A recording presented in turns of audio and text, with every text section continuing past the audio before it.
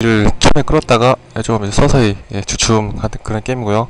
동서 게임 채널에서 만든 게임이고요. 이 게임을 즐기는 법에 대해 말씀드리겠습니다. 원래 인터넷에 들어가서 멀티플레이를 하는 건데요. 이 매, 매, 배틀넷이 이제 닫혔기 때문에 사람들끼리 하는 멀티플레이 방법에 대해 소개시켜 드리려고 합니다. 이런 식으로 자기 아이디를 마음대로 쓰고요. 어, 랜을 선택하시면 하마치 프로그램을 써셔야 되고요. directly TCP IP 선택했을 때는 이렇게 이런 식으로 게임 참가를 누르세요. 그리고서 이제 사람들하고 이제 채팅 창을 통해서 그러니까 네이버에서 그러니까 제 카페를 오셔야 됩니다. 제 카페를 오시든지 다른 천명 카페를 통해서 IPX를 바꾸셔야 돼요.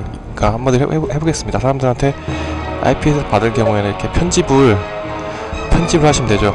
이런 식으로 편집을 해가지고 얘를 누르든지 취소하든지 이렇게 새로 만들 수도 있습니다. IP를요. 이런 식으로 해가지고 사람들하고 얘기를 하신 다음에요. 이 방에 들어가시려면 얘를 클릭하시면 되시고 방을 만들려면 이걸 클릭하면 되고요. 그러니까 서로 대기와 방을 하시면 됩니다. 네. 제 카페에 오시면은 좀 더 자세한 방법에 대해 설명이 되어 있습니다. 네. 네, 잠깐 지금 천명 2에 지금 뭐 플레이 장면을 잠깐 잠깐씩 보시겠습니다. 크스터랑 거의 동일한 빌드로 가고요. 예, 종족은 총세 종족 위초고가 되겠죠. 예, 이렇게 생각하시면 됩니다. 예, 여기까지고요. 예, 많은 참여 부탁드립니다.